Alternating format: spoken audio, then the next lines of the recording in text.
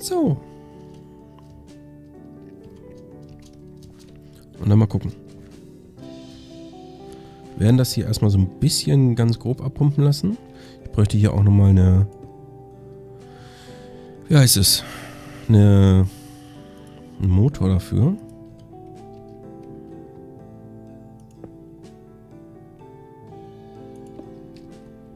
Ich weiß gar nicht, wie hoch wir das Gebäude überhaupt machen müssen. Nicht allzu hoch, aber auf jeden Fall so ein bisschen. Denn das Ganze muss ja dann noch anders gemacht werden. Also wir machen halt jetzt hier erstmal ein bisschen was in den Tank hinein. Einfach damit da unten halt auch Wasser rausgepumpt wird. Habe ich denn hier noch irgendwo so einen Motor? So ein, ja nicht so ein Stirling-Motor, sondern so ein, wie hieß er denn?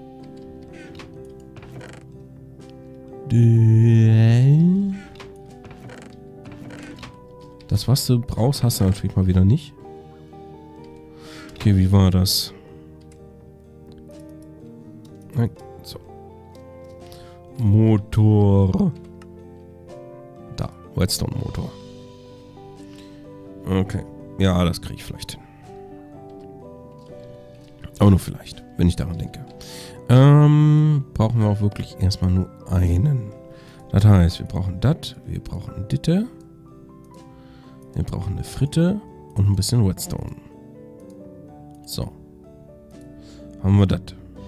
So, dann brauche ich nicht so, sondern so. Oder? Wie war jetzt das Rezept? Verdammt. Gar kein Holz. Doch, da oben Holz. Okay. Ähm...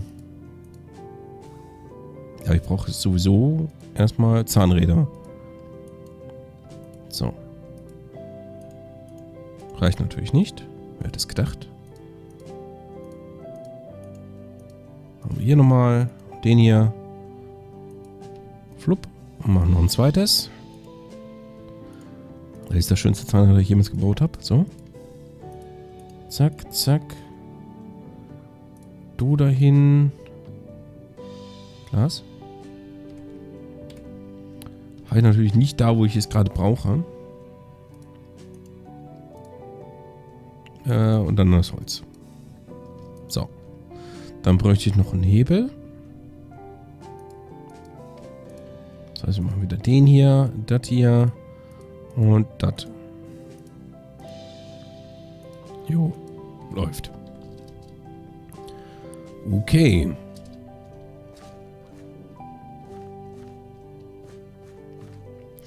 Dann, dann, dann, dann, dann, dann, dann, dann. Die hölzernen Flüssigkeitsrohre hier sind ganz toll. Mit denen kann man ganz viele tolle Dinge machen, wie zum Beispiel einen Motor anschließen. Und das befüttern mit so einem Gedöns. So. Okay. Also das ist halt jetzt sehr rudimentär erstmal, bis halt da unten so viel weggepumpt ist, dass ich sage so, jupp, das, das reicht erstmal.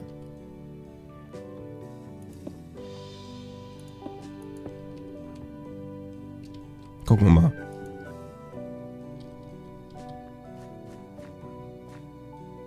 Ich meine, es gibt natürlich produktive Pumpen, aber darum geht es mir ja nicht.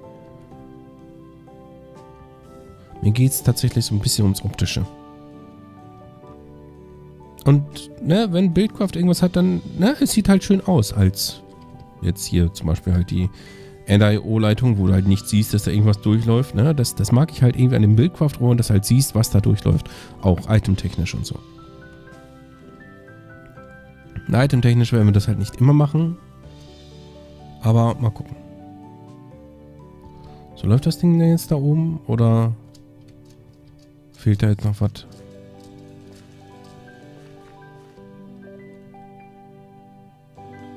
läuft es noch nicht genug.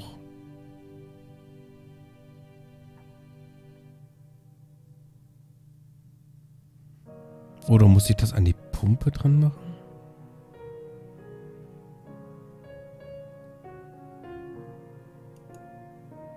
Hm.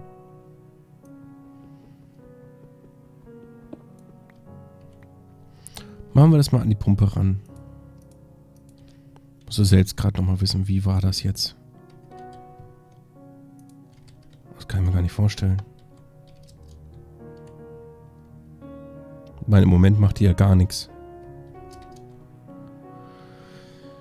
Und von gar nichts sehr, sehr viel.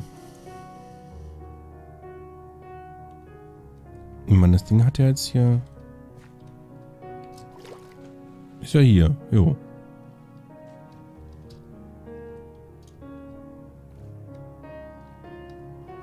Bisher ist halt noch nichts an Wasser abgepumpt. Und ich frage mich gerade, warum. Ich dachte eigentlich müsste das... Ah, doch, es geht. Dann muss es tatsächlich an der Gerät. Nicht an, ans Rohr. Okay.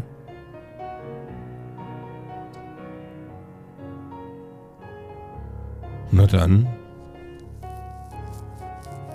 Gut zu wissen.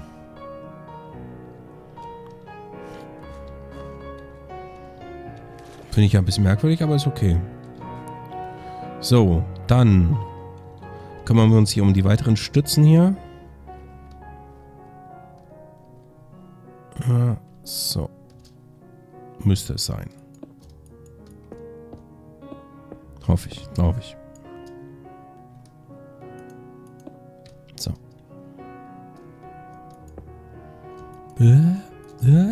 So, nein.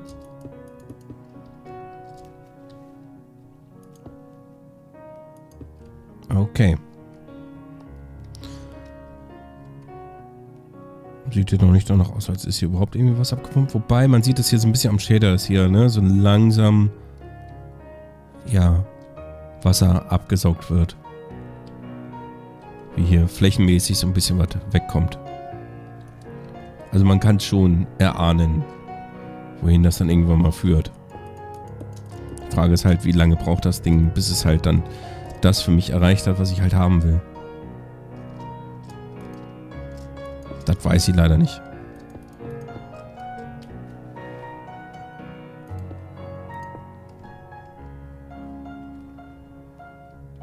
Na, aber der Tank befüllt sich, das ist okay. Kann er gerne machen. Ich meine, so viel Wasser brauchen wir insgesamt halt nicht. Ich meine, dieses Wasser werden wir halt gebrauchen, unter anderem, um dann die Waschanlage zu befüllen und so ein Zeug, ne? Die übliche Leier, man kennt das ja. Und vielleicht dann auch mal eine Waschanlage, die mehr und schneller produziert als äh, so die anderen bisher. Oder die andere.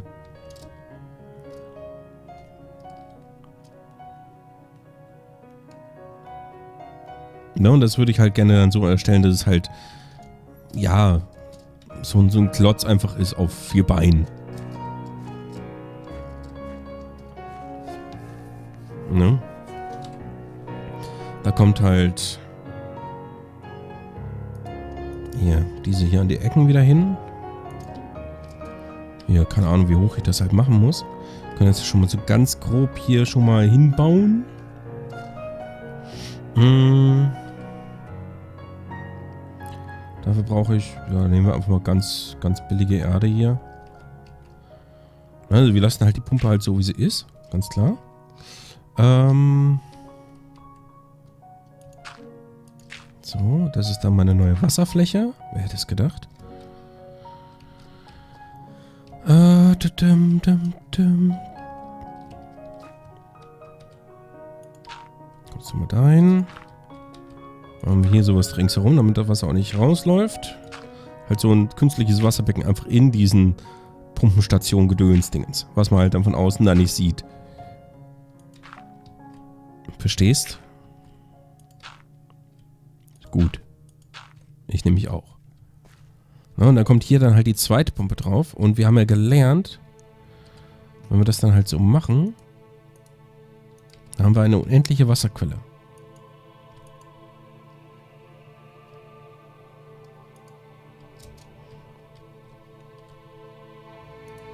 Das ist ja etwas, was wir sonst nicht haben.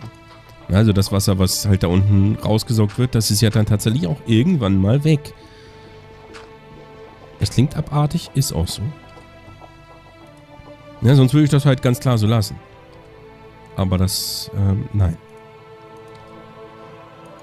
Das geht doch nicht. So. Und dann kommt dann hier die Pumpe hin, die halt wirklich dann absaugt. Warte mal, da muss ich ja auch wieder so einen Schummelblock hier machen. Ich habe keine Erde mehr. Äh, okay. Ähm.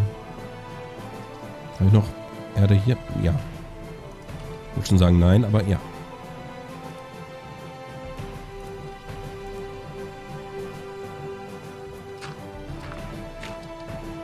So, also kommst du dahin.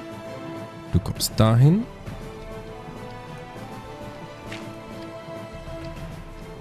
Und Wasser befüllt sich relativ zügig hier. Das ist eigentlich ganz okay. Und dann kommt halt hier dann der Motor ran und hier kommt dann halt das wirkliche Rohr hin, das halt meinetwegen hier runtergeführt wird. Ja, und hier wird es halt abgekopselt, damit hier nichts mehr rauskommt. Weißt du? Weißt du, weißt du, weißt du? Halt, ne? Geschummelt, so ein bisschen. Und hat halt einfach nur Sinn und Zweck. Und man hat halt dann das Gefühl, als würde dann die Pumpe unten da ist pumpen, weil das ist halt immer noch der Schlauch. So, sieht man denn schon, dass da Wasser abgesogen wurde? Ja, nee. Dauert immer noch. Okay. Gut, da wir halt eh Glas noch brauchen, beziehungsweise weitere Tanks, könnte ich die halt auch nochmal eben schnell dahin bauen. Wir haben ja hier nicht Glas fertig. Das ist toll. Mach mal... Ja, nicht das. Mach mal eher... So. Genau, jetzt ist hier mit Sand befüllt. Jetzt kann hier meinetwegen auch der Mörtel und so dahin. Jo. Einfach damit wir jetzt einmal Glas produzieren. Weil der Tank ist nämlich bald voll.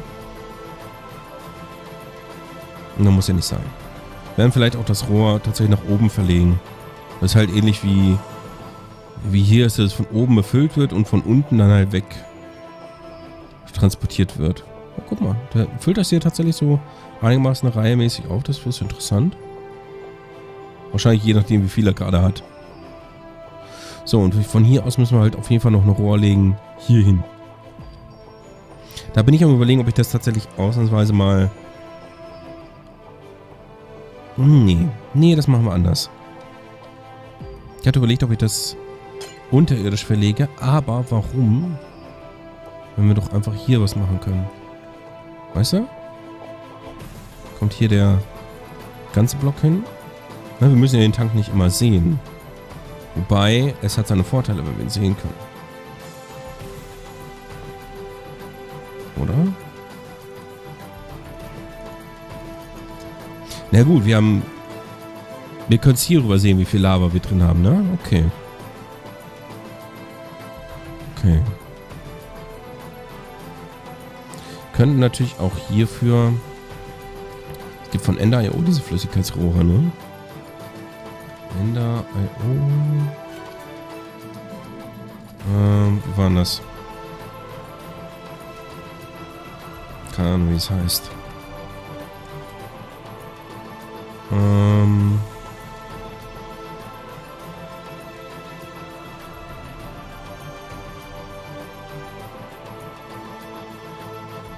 Wie heißen denn jetzt diese Flüssigkeitsleitung, ne?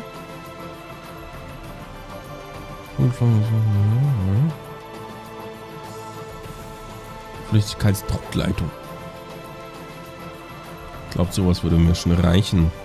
Bräuchte mir ziemlich klares Glas. Hm. Allerdings, ich sehe gerne Lava durchfließen. Ne? Na komm. So. Nein, falsches Rohr.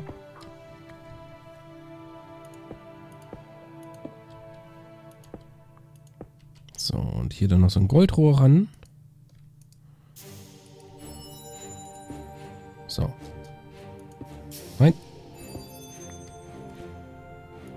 Nein.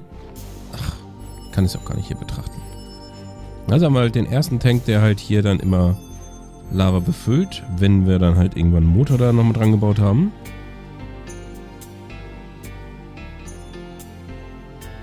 Da ist immer noch nicht wirklich weniger Wasser. Okay, wie sieht's hier aus mit Glas? Ist soweit ein bisschen fertig.